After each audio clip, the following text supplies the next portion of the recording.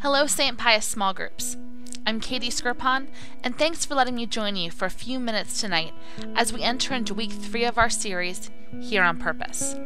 Let's do a little bit of review to make sure we're all on the same page. In week one, we explored how we are here on this planet for a purpose. We're known by God, and He desires to use us to glorify Him and to lead others to Him as well. In week two, we dove deep into some of the most important relationships we have our families. There are no perfect families, no perfect parents, perfect kids, perfect anything.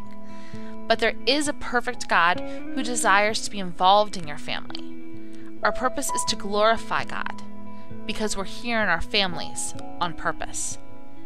So this week we're talking about our workplaces. It's another place where we can see that God has placed us there for a purpose. Yes, how we work, treat others in our workplace, get our tasks done, work to the best of our ability, look at our colleagues and bosses with respect, choose to honor and listen, to never disrespect others, all of those things matter because we are examples of God's presence in our workplaces. Now, when I say workplace, for the purpose of our discussion, I mean the broadest possible version of that. Some of us work in schools, some in buildings with endless offices and cubicles, some in our homes chasing little ones, some caring for aging parents. All of these are workplaces, and all are places that we are for a purpose. And that's because my workplace is my mission field and the place where I can glorify Him. Our coworkers need to see Christ in how we act and how we talk. So, how can I use my God given purpose to glorify Him at my workplace? There's five practical ways that we can do this. Number one, do your work. St. Paul in the letter to Colossians tells us, Whatever work you do, do it from the heart, as for the Lord and not for others. This verse encourages all believers to work as unto the Lord, because how we go about our work is a direct reflection of God. Doing our work well glorifies Him, and not only doing our work glorifies Him, but our attitude doing it does as well. So do your work well. Number two, honor your coworkers and boss. How we treat our coworkers and our boss matters. Yes, even when they are not around, do we honor them? Do we defend them? We set ourselves up to glorify God when we treat them with respect. As human beings created in the image and likeness of God, they deserve our respect. And Scripture also tells us to respect human institutions and authority.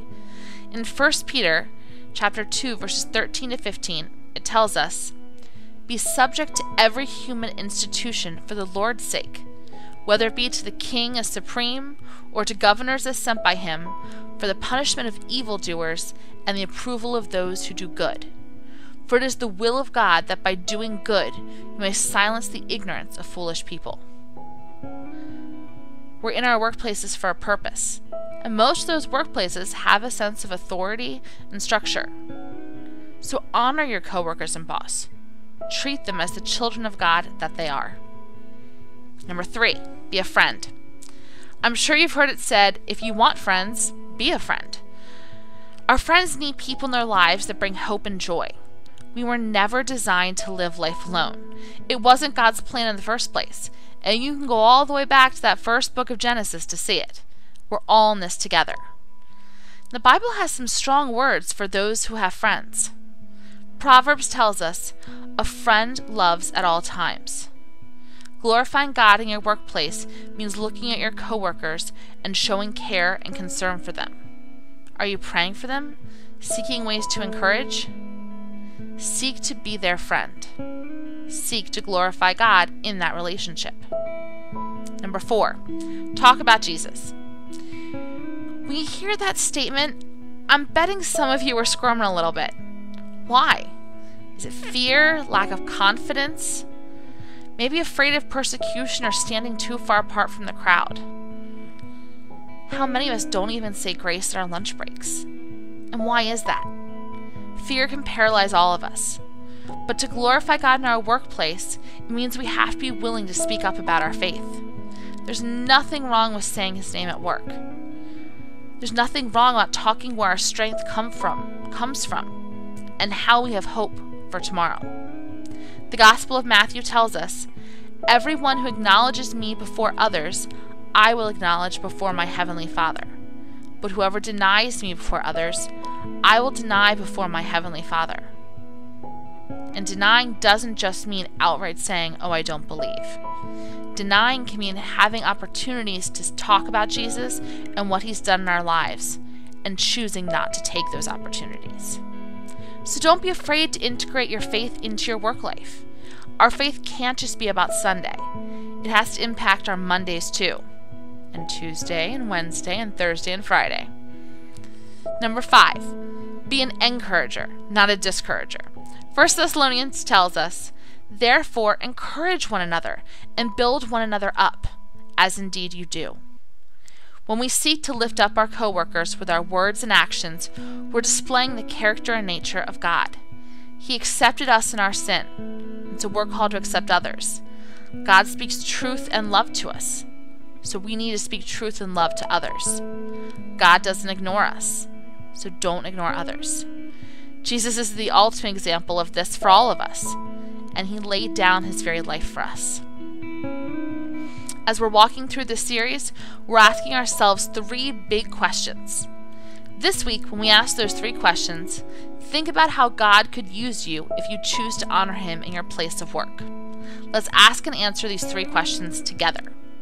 Number one, why am I here? I'm here to glorify God in my work. According to Colossians 3:23, we are to work at it with all our heart. When we work hard, we're glorifying him. When we do our work well and show up with a good attitude, we're glorifying him. Number 2, who am I here to impact with my love? I'm here to impact my boss and my coworkers. Relationships are a big deal to us. Instead of talking down to others, creating unrest, why not be a person who seeks peace and displays unconditional love to those that we work with. People make mistakes and will disappoint us. It's just a fact of life. But instead of letting those issues get in the way, let's be examples of God's forgiveness and love, even to those we work with. Number three is my yes on the table. When God prompts me to invite my coworkers to church, I need to answer yes. As we live the life God desires, yes will come really easy. But if we're living a secret life, choosing to ignore Christ at work, yes doesn't come so easily. In this case, shame's usually the driving force behind our no. Are you confident that God is at work in your life? Then shine. Yes, we all messed up, but are we leaning and learning and trusting in the Lord to get us through? Our coworkers are watching how we handle adversity. So trust the Lord with every situation and seek to glorify Him through it all. Ultimately, the question is Do I have a desire to see others come to know Christ? It's a core question we have to ask ourselves. Are we missing God's opportunity when we say no to His call to share Christ with others? We have to ask ourselves this hard question Why do I run from an opportunity to share Christ? Especially when it's at work. Is fear holding me back? Do I not feel equipped to share my faith? Can you imagine what life would be like on the other side of yes? If we all said, Yes, I will share my faith at work. Ultimately, God has placed you in your workplace on purpose to glorify Him and to shine His light in a dark world. Put your yes on the table. Give God your yes to share your faith at work.